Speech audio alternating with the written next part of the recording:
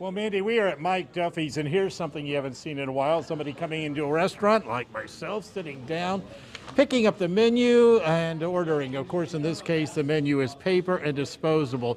You know, restaurants are no longer just selling tasty food, they're also selling trust and health safety. The sign outside Favazza's restaurant tells the story. Come on in. Workers are wearing masks, and so are customers. This restaurant is taking the proper steps. David and Lorene Graham are celebrating his birthday and their anniversary. They are relieved to see multiple new hand sanitizing stations, diners seated far apart from each other, and condiments on request, not on the table.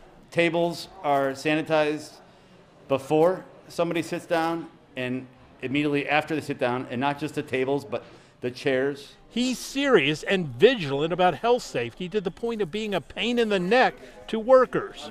Every time I see somebody, I am asking, "Do you wash your hands? Do you wash your hands?" And, just, and, and I'm even watching them wash their hands, and I'm still saying, "Hey, you wash your hands?" In Richmond Heights at Mike Duffy's, the first day has been Well, it's a slow start, but you know we're excited to be back open. Takeout here wasn't much of a lifeline. Sales dropped by 90%. They believe they won that battle and good things are on the horizon. We've weathered the storm and we're fortunate enough to, you know, to get through it, do it, you know, carry out and take out um, and in delivery service. There's been a pent-up desire among customers for the establishment to reopen. Oh, I couldn't wait. Uh, I've been coming here for, you know, since probably the past uh, 15 years. So. I feel very safe here.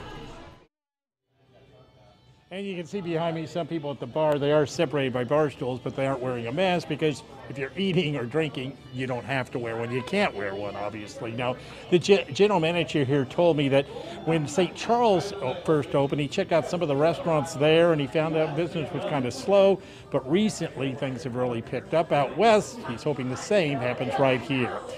At Mike Duffy's in Richmond Heights, I'm Rocky Madden, Fox 2 News.